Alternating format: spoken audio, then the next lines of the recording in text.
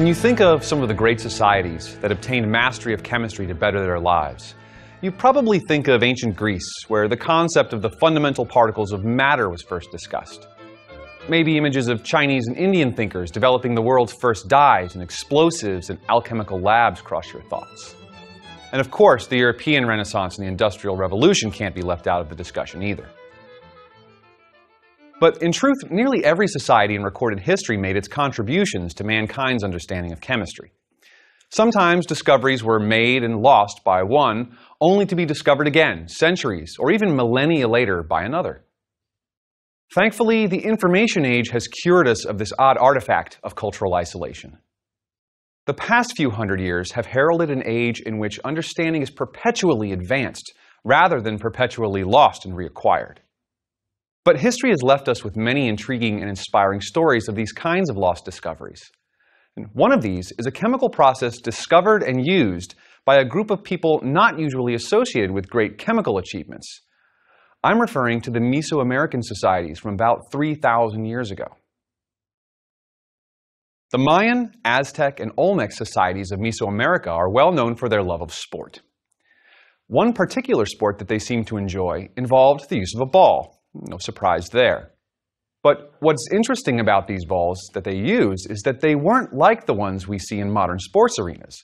They were made from this material, natural rubber, a substance consisting of almost unimaginably long hydrocarbon molecules, creating a thick, sticky material that becomes somewhat brittle as it slowly hardens over time. Now you probably had the same thought that I just did. How is a thick, sticky ball that becomes brittle with age any use in a sporting game? Well, the answer is it's not, which leads to a more interesting question. Why and how did the Mayans make this material useful for that application? That question plagued two researchers at MIT in 1996.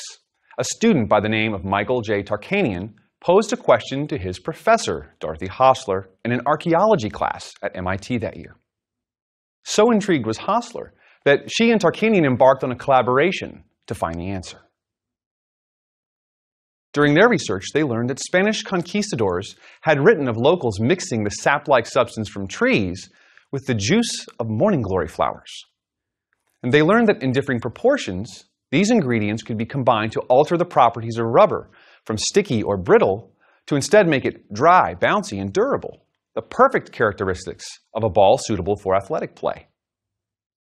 In this lecture, we're going to discover the key to understanding how these two unlikely ingredients, tree sap and morning glory juice, led to a new and useful material employed by the Maya, Olmec, and Aztec cultures 3,000 years ago, and also, it turns out, by you today. So our current lecture is all about polymers. Polymers are a class of compounds that we're all somewhat familiar with. The tires on your car, the bulletproof vests protecting soldiers and police, the ropes supporting mountain climbers, and the packaging that protects our food and water from spoilage are all very often made from polymers. But what are polymers? Well, polymers are, simply put, a molecular version of one of these, a chain. Just as chains consist of long series of simple links attached to one another, polymers are long series of molecules attached to one another by molecular bonds. We call each link in a polymer a monomer.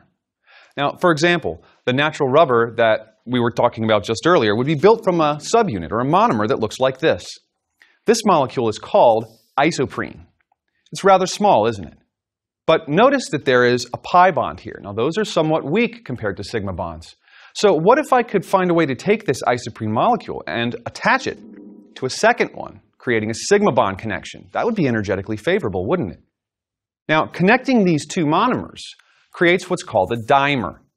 And I could also say bring in a third. Right? Now that I have three subunits connected, I have what's known as a trimer. If I continue connecting more and more subunits, eventually I create a very long chain, which we would call a polymer. Now, keeping in mind that these chains can easily reach thousands of linked monomers or more, we can quickly run out of patience for coming up with naming systems for this, right?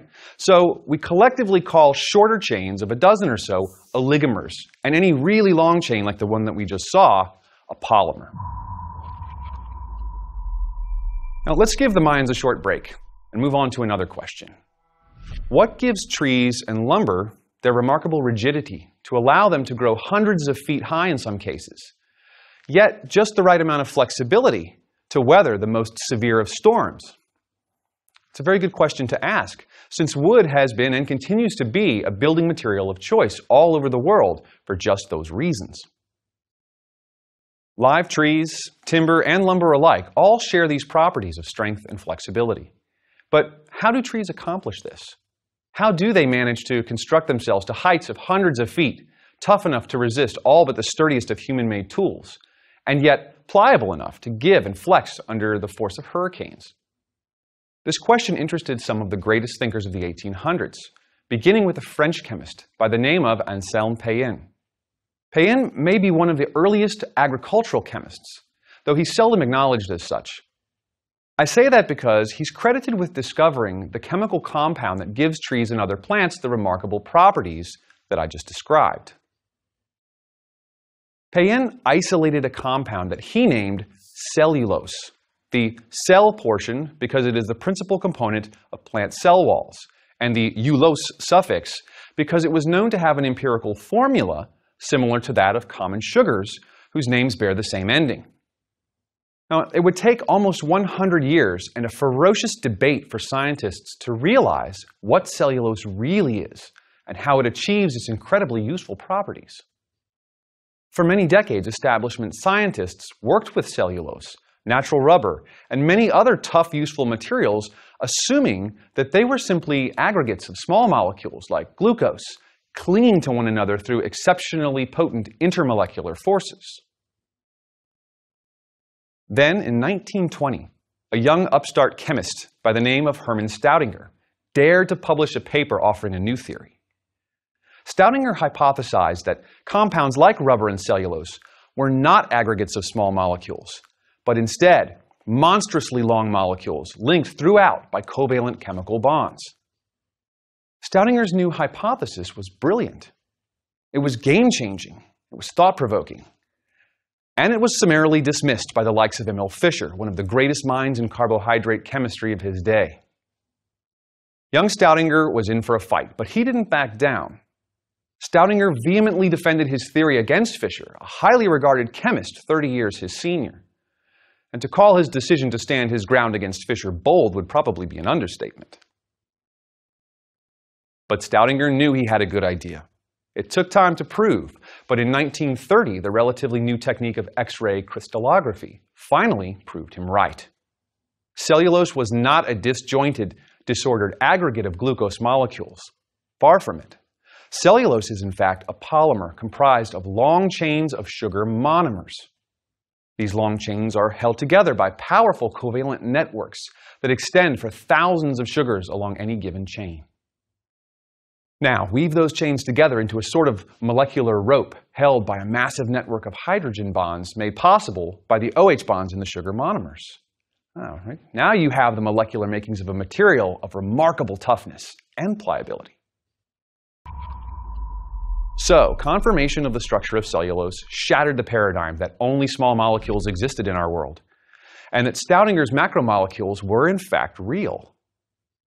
This changed our thinking about materials and their properties and forced scientists to take a whole new look at some ancient materials that we thought we previously understood. Of course, with the benefit of hindsight, we've already seen how Staudinger's theory explains the properties of some compounds. Take the example of rubber, polyisoprene, resistant to water because it's a hydrocarbon, but amazingly thick and viscous compared to other hydrocarbons. This can all be explained by enormously long hydrocarbon chains composed of polyisoprene sliding along one another, clinging tenuously to one another through van der Waals forces, but bonded within chains by massive networks of covalent bonds, hundreds, thousands, or even millions of monomers long. How about cellulose? Can the epiphany of macromolecules explain its properties? Absolutely. Imagine glucose units linked together in chains of thousands. Not only are these individual chains held together by networks of thousands of strong covalent bonds, but multiple chains can interact through hydrogen bonds. The covalent networks give it amazing tensile and compressional strength. but the hydrogen bond networks give it just the right shear strength, able to bend but not break, as a tree in a hurricane wind or a piece of lumber in a settling house would experience. So, we've seen how polymers like natural rubber and cellulose have been a part of human civilization for just about as long as human civilization has existed itself. But it is human nature to be dissatisfied with what nature offers us. As a species, we have always been curious and hungry to create better materials for our own use. For evidence of this, we need to look no further than our opening story on the Mayan culture. Hosler and Tarkanian discovered that the secret ingredient in the special Mayan sports equipment was the juice from morning glories. Somehow, adding this juice to natural rubber made it more resilient and less sticky. So, what was going on there? Well, it turns out that, like so many chemists after them, the Mayans were just improving on what nature had already accomplished. Morning glory juice contains a fair amount of sulfur, and sulfur likes to react with the carbon-carbon pi bonds in polyisoprene to form what we commonly call disulfide bridges. This reaction replaces the weaker carbon-carbon pi bonds with new sigma bonds between the carbon atoms and the newly introduced sulfur, of course. These bridges lock each individual polyisoprene unit into place within the polymer, creating a compound that snaps back to its original form after being deformed. Sounds like a recipe for something bouncy, doesn't it? After all, what is bouncing if not deforming temporarily before recovering original shape? It's a remarkable combination, isn't it? One that almost certainly discovered by accident at some point and used to the advantage of Mayan athletes across the empire in 1000 BC. But their discovery was lost to the ages, relegated to a few obscure pages in the journal of a Spanish conquistador, awaiting discovery at MIT just a few years ago. In the meantime, who knows how many times this invention was rediscovered in various cultures and lost again, until eventually in 1834, a failed hardware merchant from Pennsylvania had the good fortune to lose his temper. The merchant's name was Charles Goodyear, and he had tried to redeem himself from a streak of previous business failures by creating a new material that would change the world, and he had his eye on rubber. Goodyear theorized, quite incorrectly, that natural rubber's tendency to be sticky and deform was caused by residual water coming from its natural plant source. So he tried to improve upon its characteristics with one drying agent after another, with marginal results at best. Then there came a breaking point for Goodyear when he was mocked in a Massachusetts general store for his latest effort to use sulfur to dry his rubber. As the story goes, a furious Goodyear shook his fist, losing a small amount of the rubber sulfur mixture he had come to display. By his luck, it was winter, and his mixture landed on a roaring pot-bellied wood stove. Not one to be wasteful, he set about recovering his sample. But when he examined his recovered sample, he noted that something had changed. His sample was now tough, dry, and held its shape. Goodyear had created vulcanized rubber, the same material first concocted by the Mayans 3,000 years earlier. All he had been missing was the heat of the Central American summer sun, which was conveniently emulated by the pot-bellied stove. So, on a cold day in a Massachusetts winter, a failed hardware salesman reinvented the same material used by the Mayan civilization millennia ago. His invention, now known as vulcanized rubber, is a rubber so bouncy, durable, and tough that it's the basis still for materials that we rely on in ways that we sometimes take for granted. Shoe soles, water hoses, and of course, modern tires all make use of this inimitable material. So, from the Mayan and Aztec empires all the way up to Goodyear and beyond, humanity has benefited from the modification of rubber, the granddaddy of all polymers. Cultures, both ancient and recent, have ultimately come up with the same way to combine the reagents available at the time to create new products with amazing new properties. But the task of the chemist is not just to improve upon nature, but to find ways to take what nature has taught us about the potential of molecules and make them better from the ground up. To that end, we have created polymers all our own, man-made, from scratch. There are several ways to classify these synthetic polymers. Sometimes we group them based on the chemistry used to create them, and other times by the type and arrangement of monomers that make them up. Um, to fully understand polymer chemistry, we have to consider both of these techniques. So let's start with the first. The first method of classifying polymers is based upon the chemistry that creates them. And the simplest chemistry one can use simply clicks monomers together without any byproducts forming. We call this kind of polymer an addition polymer. And the best example of an addition polymer is this, polyethylene. As the name implies, the material making up this water bottle, for example, was constructed actually from ethylene gas. Addition polymers are generally created from monomers, of course. I'm going to show those just as uh, generic red squares here, or red rectangles, which come together in a process called chain growth. Now, the individual monomers themselves aren't particularly reactive, but in the presence of a special chemical initiator, each time a new monomer connects, it itself becomes reactive, thereby causing the chain itself to extend.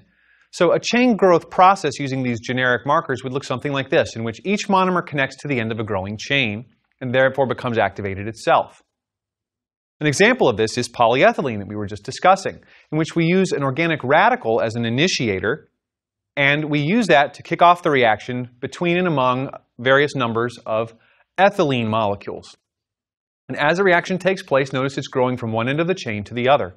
And in doing so, we can create long hydrocarbon chains of hundreds and even thousands upon thousands of these individual monomer units before this activated radical here is finally quenched in a reaction with another radical somewhere in the mixture. Using this process, we can create hydrocarbon molecules of tremendous size and complexity. For example, we can create long chains of hydrocarbons that are called high-density polyethylene that are used in, for example, the manufacture of toys. Or we can use a few tricks to introduce more branching into the molecule, creating low-density polyethylene, which is used in, for example, the plastic bags that you find in your local grocery store. All of these materials, though, interestingly enough, are made from one very, very simple starting material, ethylene gas. Just a little bit of careful consideration in how we put together the polymer can create a drastically different and useful uh, material. Because this reaction takes place with no byproducts generated at all, its product is classified as an addition polymer. Polyethylene is a remarkable product, considering how simple its structure really is. Since its discovery in 1933, scientists have developed ways to control the size and even the branching of this structure to create a variety of polyethylene materials. But ethylene isn't the only monomer that works in this strategy. Those four hydrogen atoms are just placeholders. Replacing them with different atoms or groups of atoms creates even more useful materials, like polyvinyl chloride, commonly known as PVC, or this one, polystyrene, which is constructed from styrene monomers and used in everything from seat cushions to CD jewel cases. Now, the second class of polymers I want to discuss today is condensation polymers. Condensation polymers differ from addition polymers because they produce a byproduct when monomers come together to form them. These byproducts are usually very small and often include water, from which the process gets its name, even though production of water is not a requirement for a polymer to fit into this class. Condensation polymers differ from addition polymers in the sense that they rarely need an activator to, to initiate the polymerization reaction. This makes them fairly easy to create in some instances, but it makes them harder to control. Because if we have a collection of monomers, all of which can react with one another, we go through a process known as step growth instead of chain growth. And as you can see here, it's not as controlled of a process. The resulting molecules are of drastically different sizes often. So although they're more difficult to control, they're very often used because they can produce some remarkably useful and versatile materials themselves. And not the least of these is nylon 6,6, in which we take two different types of monomers, in this case a molecule known as adipic acid, and one called hexamethylene diamine, that's shown up here with the nitrogens. And they react with one another in a step growth process that produces water as a byproduct. So as these molecules come together, they form water, which energetically drives the reaction forward, leading to relatively large molecules joined by these special bonds here called amide bonds. So nylon 6,6 is a polymer of relatively large monomers. And you can imagine one of these having thousands upon thousands of these. And if you look carefully, as this molecule passes by, you'll see those distinct sets of monomers within the polymer itself. This is nylon 6,6. Condensation polymers include not only nylon, but other familiar polymers as well, such as the polyester material Dacron, the Kevlar in bulletproof vests, and the polycarbonate material in Lexan, used to make bulletproof glass. Now, a second method of characterizing polymers is based not upon the type of bond that holds them together, but rather on how many different monomers are used and how they're arranged.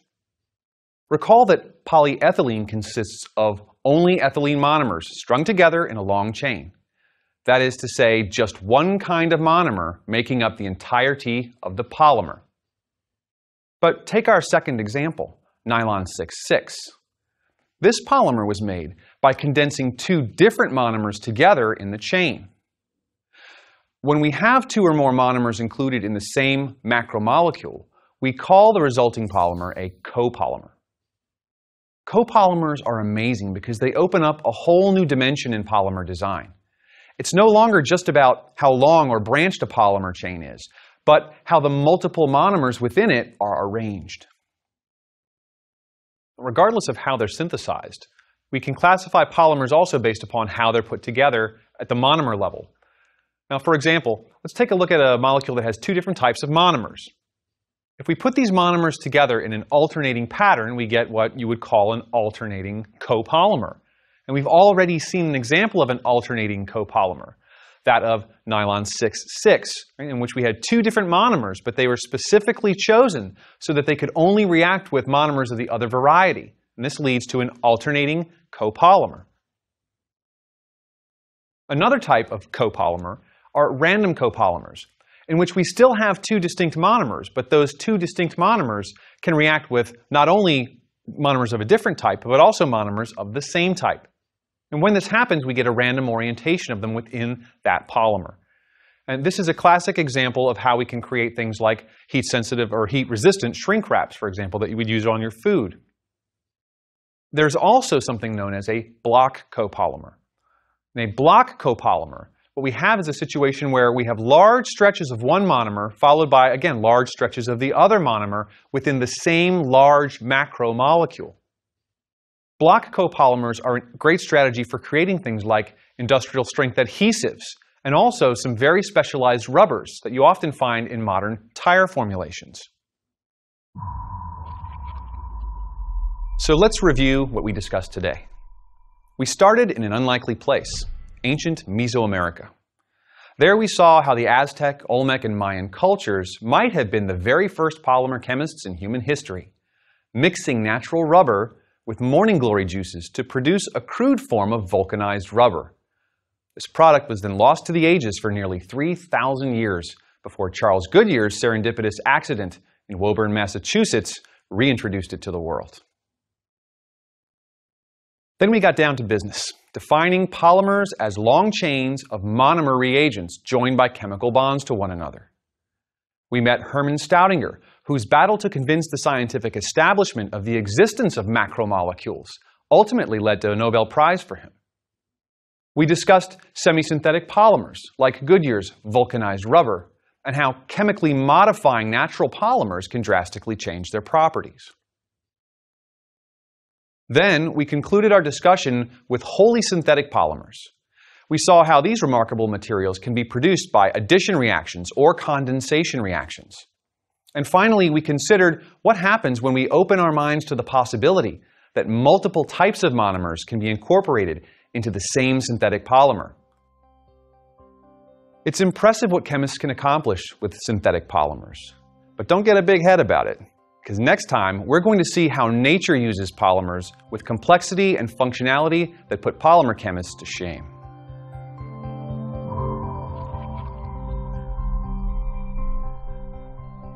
So we spent some time during this lecture thinking about polymers, how they're put together, the different types of syntheses that can be used to make them, and how their monomers can be related in space to create new materials with new properties.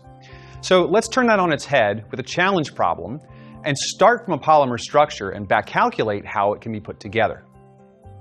Specifically, let's start with a very common polymer, polystyrene. Now, polystyrene is an addition homopolymer, meaning that it's synthesized with no byproduct formation and it has only one type of monomer that's used to create it. So with that in mind, let's take a look at the structure of polystyrene and see if we can back calculate what its monomer must be. Now, this is a uh, what we would call a van der Waals or a space-filling representation, and the polymer would, of course, continue along this axis for many hundreds or even thousands and thousands of units. But its structure looks a little bit more like this in ball and stick, still a bit hard to see, so I've drawn it out in a different type of representation here, where we can see the long chain of carbon-carbon bonds that hold the polymer together, and these rings here, which are drawn to correspond to these rather large rings here of six carbon atoms that we would call a phenyl group. So our task is to take the structure of polystyrene and determine from which monomers could it be made. So in order to do that, I'm going to make a duplicate of my structure. And then I'm going to ask myself, how could I make that from monomers in a reaction in which I have only one type of monomer and a reaction in which I have no byproduct formation? Well, clearly what we're going to have to do here is consider how to break this chain in such a way that we make pi bonds, because addition polymers tend to form from monomers that have reactive pi bonds that help to build up the chain. So, in order to calculate or determine what my monomers will be, all I need to do is look along the chain here and ask myself, if I break this carbon-carbon bond, for example, and then the next equivalent, and then the next equivalent, using those electrons to make pi bonds on the adjacent carbons, right? That would be this one here, this one here, and this one here. Let's see what happens. So let's break those bonds and create the new pi bonds. Ah, we've created monomers, haven't we? And we've done so in a way that corresponds with an addition polymer formation. Right? That's because, in this case, there can't be any byproducts, which means there can't be any products going in in the reverse process. So this structure here, which corresponds to a molecule called styrene, looks just like this. And knowing that polystyrene is an addition homopolymer has allowed me to determine exactly which monomer I could use to make it based upon the fact that this pi bond right here is able to go through that regular addition process in chain growth, which creates molecules like this one. So our monomer for polystyrene is, of course, the styrene molecule, and this is its structure.